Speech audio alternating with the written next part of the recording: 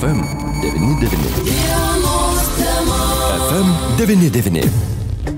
Sveiki, bičiuliai. Studijoje prie mikrofono Liudas Ramanauskas. Jeigu pažvelgsime į sinoptikų prognozes, bent iki trečiadienio vidutinė paros temperatūra yra netgi žemiau 10 laipsnių. Ir ko gero tą diskomfortą jau pradėjome jausti visi. Todėl šiandien labai aktuolus pokalbis. Mūsų studijoje vieši Alitaus šilumos tinklų generalinis direktorius Mindaugas Neverdauskas. Neverdauskas. Gerbiamas Mindaugai, laba diena. Labą dieną. Ko gero jūs irgi pajutote, kad šiais metais rugsėjas šildymo sezonas stumia kur kas aukščiau. Įprastai mes taip pradėdavome kalbėti, jog spalio pradžioje reikia jungti šildymą šildymą. Šiandien už lango rugsėjo antra pusė ir norisi šilumos, bet ta šiluma šiais metais su tam tikrų prieskonių ir ko gero kainų didėjimo prieskonių, bet galbūt galite šiek tiek plačiau papasakoti. Na iš tikrųjų taip, ta situacija visoje Lietuvoje bus tokia ši, šita šildymo sezono prognozijas, kad na iš tikrųjų kaina kils ir, ir kils na, procentais, ne 1, 2, 3, o 10 procentų, tai Alytuje na, kol kas prognozijos yra apie 25-30 procentų kilimas, o tai sąlygoja du, du faktoriai. Tai pagrindinis faktorius tai yra biokūro pabrangimas, tai iš tikrųjų trūkumas biokūro rinkoje labai stipriai sukelia kainas, tai dalis to biokūro buvo planuota, na, ankstesniais sezonais vežamas buvo iš Baltarusijos ir, ir, ir tikrai buvo nukritusios kainos ir, na, biokūros kainavo labai tikrai pigiai ir, ir, ir dėl to buvo šilumos kainos pakankamai pigios, na, praeitų, praeitų pavyzdžiui, metų šildymo sezono kainos, praeito šildymo sezono kainos, tai buvo maždaug 2011-2010 metų lygmens. Pasižiūrėjau čia, vat, atsiuntė šilumos tikėjo asociacija na, vidutinių kainų istoriją, tai pažiūrėjau, kad 2006 metais Lietuvoje vidutinė kaina buvo didesnė tik tai 2006 metais lyginant su, su, su praeitais metais. Tai iš tikrųjų na, buvo, buvo tikrai, tikrai palanki situacija dėl, tiek, tiek dėl pačių dujų pigimo, dėl, tiek dėl biokūro.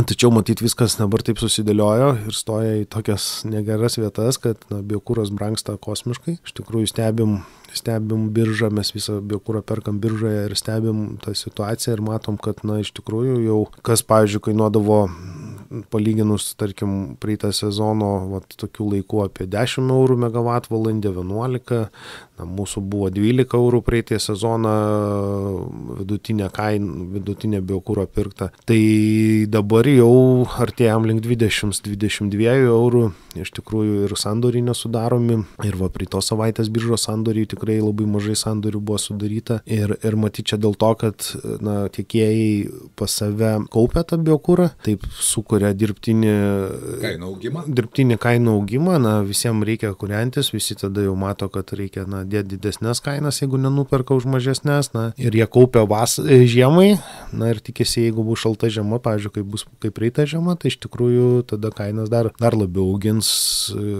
nes, na, baltarusiško biokūro, tai buvo maždaug trečdalis, biokūro rinkoje maždaug trečdalis biokūro buvo iš Baltarusijos. Ir dabar tą vakumą reikia užpildyti, automatiškai na, atsiranda didesnė paklausa, atsiranda didesnė kaina. Tai va tokia ta situacija. Ir antras dalykas, tai iki kosmoso pabrangusios dujos. Tai va žiūrėjom, čia praeitą savaitę buvo spotai kai kurie net iki 55 eurų megavatvalandę, kas, na, praeitais metais buvo, na, 12, 14, 16, tai jau čia šildymo sezono metu, nors vasara buvo ir po 6, ir po 8 eurus už megavatvalandę, tai va skaičiuojam, tai turbūt 5 kartus daugiau negu 5 kartus pabrango. Kartus, ne procentus, o kartus, beje. Štai ir e, Europos parlamentas jau stebi tą situaciją, kreipėsi į Gazpromą, Gazpromas oficialiai atsakė, kad jie nemažina dujų tiekimo kiekių į Europą Europą ir vykdo savo įsipareigojimus pagal sutartys, bet sprendžiant ko gero iš dabartinės situacijos, matome, kad iš tikrųjų tas dujų kainų augimas irgi yra presinguojamas, taip būtų galima pasakyti. Aš manau taip, tikrai ir, ir to pačiu ir suskistintų dujų terminalo ta kaina, jinai yra pakankamai didelė. Na, rinkos, vėlgi mes viską perkam irgi biržoje, tai biržos kaina, mes, na, mūsų dujų kaina priklauso nuo biržos kainos, tai iš tikrųjų, na, kosmosai jau tokių kainų nėra buvę jau daugybę metų ir, ir šitas sezonas, na, iš tikrųjų bus įtemptas. Nors iš kitos pusės pasižiūrėjus, tai, tai ta šilumos kaina, jinai grįž į tų pačių 18-19 metų lyg, lygmenį. Tai tik tai, kad va, tas praeitas sezonas buvo tikrai labai pigus, na, rekordiškai pigus. Dar prieš tai irgi buvo pakankamai pigus, tai bet grįšime tų pačių į tą patį lygmenį. Tai, tai pasižiūrėjus, tai nėra kažkoksai, kad labai brangu būtų, na, pagal rinkos tą situaciją, tarkim, na, elektra brangsta irgi, va, čia žiūrėjau, buvo gamybos kaina, kažkurie spotai net iki 20 eurų megavatvalandę. Tai ką tai reiškia, jeigu mes mokam, na, ten tarkim, ir kaina, kurią mokam jau brangiausia yra 16 eurų, jau, jau su galutinis vartotojas, o, o pačios elektros kaina jau buvo 20 eurų rinkoje. Tai dar perdavimas, dar, dar visi nuostoliai ir taip toliau. Tai, tai elektra irgi brangsta labai stipriai ir, ir na, matyti vis, visas tas kainų augimas labai, labai stipriai atsiliepia į viską. Ir, ir, ir tas atsilieps, aišku, ir vartotojams, nu, kaip be būtų gaila. Be jokios abejonės, ir plus dar infliacija, kurią mes irgi visi patiriame. Štai jūs minėjote, kad šį šildymo sezoną kainų žirklės nuo 25 iki 30. Jeigu tai paversti eurais, kiek maždaug tas padidėjimas bus, na, gyventojai gali pasiskaičiuoti, ar ne, jeigu mokėjo ten 50 eurų už savo būsto šildymą, vadinasi, tą 30 procentų reikės dadėti šiais metais. Tai taip, tai na, bus apie 15-16 eurų. Papildomai. Papildomai tas, na, na taip yra, iš tikrųjų viskas brangsta ir čia nuo mūsų, aš tik noriu atkreipdėmėsi, kad mūsų dalis, va, ta šilumos tinklų, tai yra atlyginimai, kurie yra šilumos kainoje, amortizacijos, remontai ir visa kita, tai išlieka ta pati. Tai mūsų, mūsų dalis nedidėja, tik tai didėja, tai yra išoriniai tie dalykai, tai yra, va, ką mes atiduosim už biokūrą, nepriklausomam šilumos gamintojui ir už dujas. Tai tik tai, tik tai tie, tie dalykai kelia, kelia šilum, kainas. šilumos kainą. Mes pakankamai efektyviai dirbom ir, ir, iš, tų, ir iš to trešdalio, kaip sakau, pinigų mes pragyvenam, iš to kainai, tai jeigu, na, jeigu kaina, tarkim, yra ten kokie 5 centai, tai mūsų, mūsų yra 1,78, tai yra mūsų dalis, kuri, iš kurios mes išgyvenam, o visą kitą mes atiduodam. Tai reiškia, atiduodam dujoms, biokūrui ir ant šagė. Na štai, toks kainų šuolis, aš tikiuosi, kad mūsų klausytojai puikiai supranta, jog ne Lietuvos šilumos tinklai dabar kelia kainas, bet vasarą turėjote nemažai darbų, jie vyko ir ko gero miestelėnai tai turėjo galimybę stebėti, kaip pavyko. Na tikrai neblogai pavyko, likę ten dar keli ruoželiai, kuriuos ten reikia sutvarkyti, bet mes na, per, per kitą vamzdį padavę esam, tai daugiau klientai nebe, nebe, nebe, nebebus atjungiama. Tai paskutinis va, buvo Ligoninės gatvėje praeitą savaitę Taip. pabaigiam, tai liko tik tai gerbuvis, tai šilumos tiekimui yra pasiruošta, ten likęs dar vienas, sakau, ruožas, ten, kur liko ten movas sutvarkyti, bet, bet tai neturės įtakos, tikrai paleisim. Jeigu prasidėtų šilimo sezonas, mes tikrai paleistumėm visam mieste be problemų, ten gerbuvis tvarkys. Tai kaip ir neblogai, 3 km trasų pasikeitėm, iš tikrųjų labai gerai pavyko nupirkti gavom dar papildomą europinę paramą, tai praktiškai 3 km trasų už, už pusę milijono eurų, tai, tai dar, dar net mažiau, tai tiek kainuos tik tai mums, na, kitą gavom paramą, tai, tai na, buvo pirmas projektas planuotas, buvo 800 tūkstančių samata, bet pavyko nupirkti už 550 tūkstančių, tada turėjom dar, kitą, dar kitas trasas, kurias, na, buvom tiesiog savo jėgom galvojom keisti, na, iš savo pinigų, bet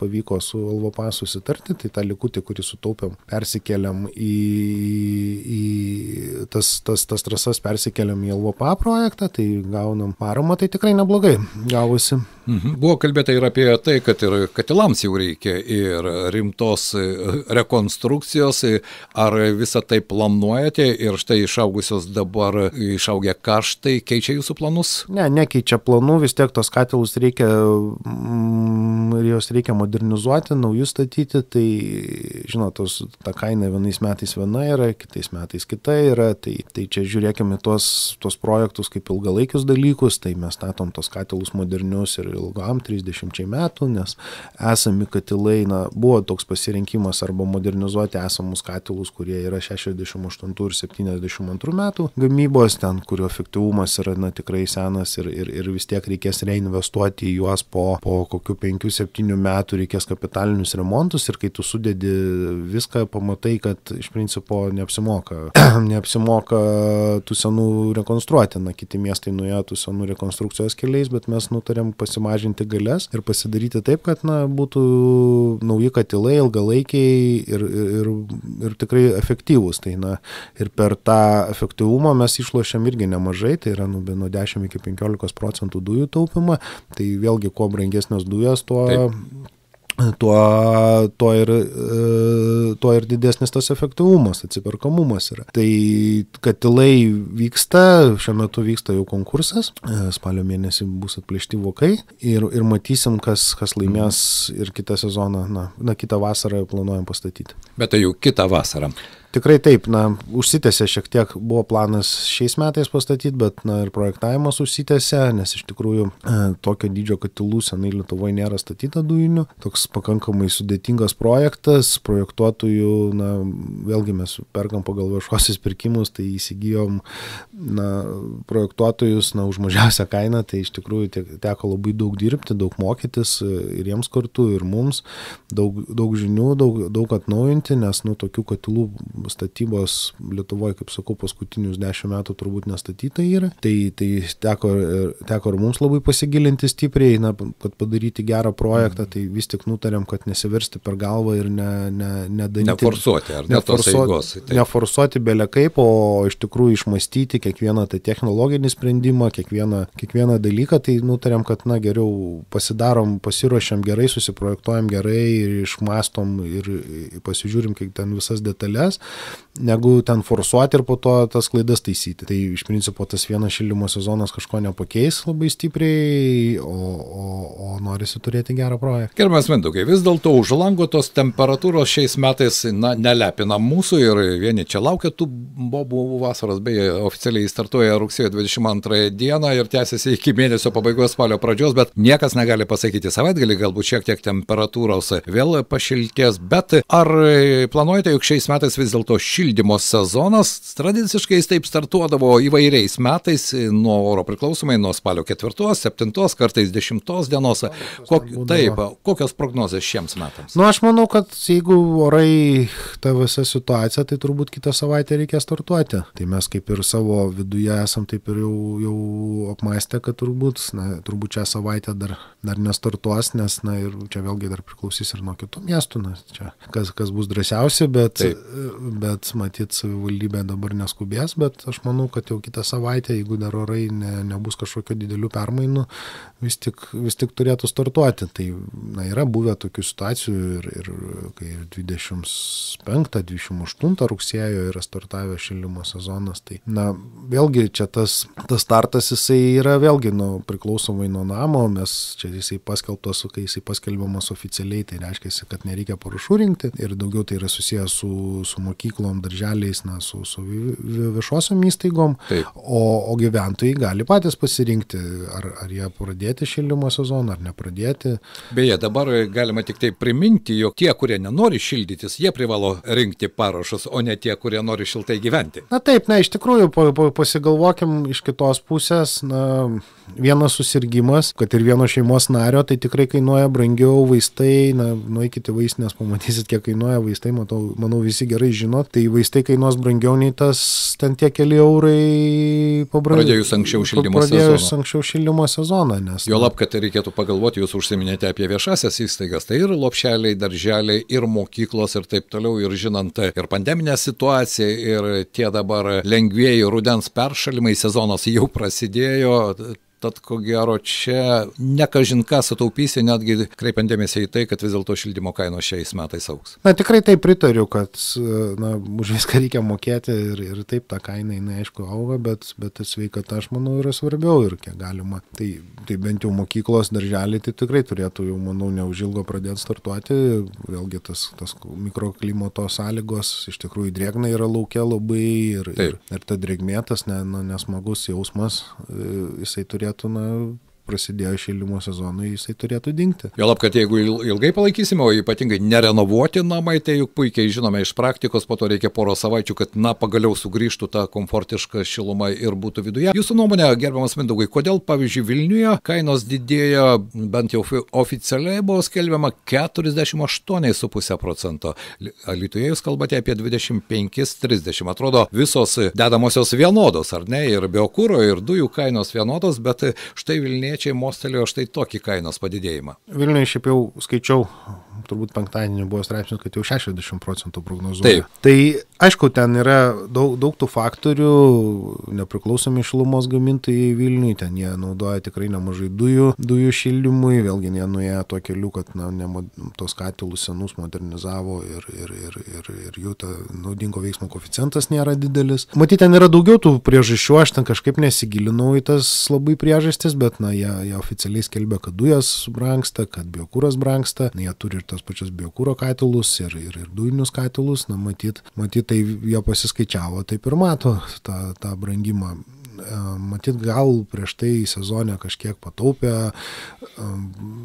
man ten kai kurie skaičiai tikrai kelia įtarimų jų, bet aš ten nu, žinot, dirbi savo darbą ir nesikiši ten į kitų, kitų įmonių, nes, na, jeigu suprasti, kad dujų kaina susidaro ne vien tik tai to biržinės dujos, prasme pačios dujos dar susideda ir terminalo mokesčiai, ir galios mokesčiai įvairūs. Tai irgi daro įtaką tam tikrą, aišku, na, savikaina jinai krenta, jeigu tu daugiau vartoji dujų, nes tie visi terminalo mokesčiai jie yra pastovus, bet jie labai priklauso nuo galios. Taip, tai čia yra labai daug tų dedamųjų, kurie, kurie, kurie sudeda, na, tarkim, jeigu papasakot apie tą va, terminalo mokestį, tai jisai yra labai įdomus, tai yra galios mokestis, jisai priklauso, tu turi atspėti, kokia tavo bus maksimali gale vieną dieną per metus. Tai tu turi taip susiplanuoti savo gamybą, viskas gerai, jeigu tu turi savo gamybą.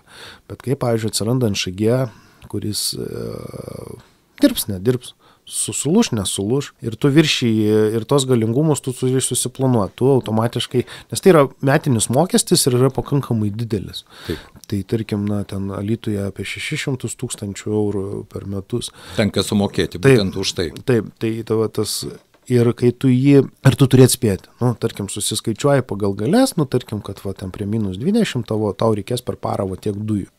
Na, jeigu tavo visi renginiai dirba ir, pavyzdžiui, ten visi kiti, ten NŠG dirba, ar kas nors iškrenta.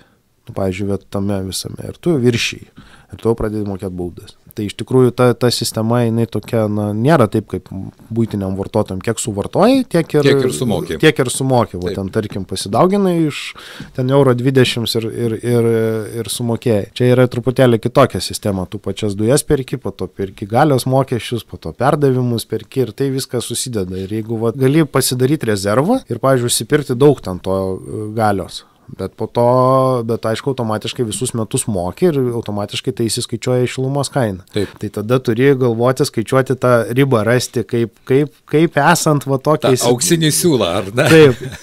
Ir, ir tada galvoja, aha, tai čia, va, taip, ir iš tikrųjų tai yra pakankamai sudėtinga sistema ir jinai, tai matot, va, aš jums sakau, kokia, kokios sumos eina ir ten tas galios taip. padidėjimas, ten kokį šimtą tūkstančių pridėti per metus, na, tikrai yra daug. Be jokios abejonės, ir tai irgi atsispindi po to galutiniam vartotojui. Na, o jeigu kalbėt vis tik su kolegomis bendraujate, štai Vilniečiai, kaip jūs sakote, jau iki 60 procentų šilumos kainos didins. Vis dėlto, kalbant Lietuvos kontekstu, Litus, ar ne, kainų didėjimas nuo 25 iki 30, mes sugrįžtame maždaug 2018-2019 metus pagal kainas, bet Lietuvos kontekste, kaip atrodo Lietuvos šilumos tinklai. Tai mes panašiai ir atrodysim, turbūt kaip ir visa Lietuva, nes tai yra ir, ir biokūros tas brangimas, čia vėlgi kitose regionuose tas biokūros brangsta labiau, kitose mažiau. Dujų dalis irgi brangsta, pas, pas kažką yra, nėra tos dujų, pas kažką yra.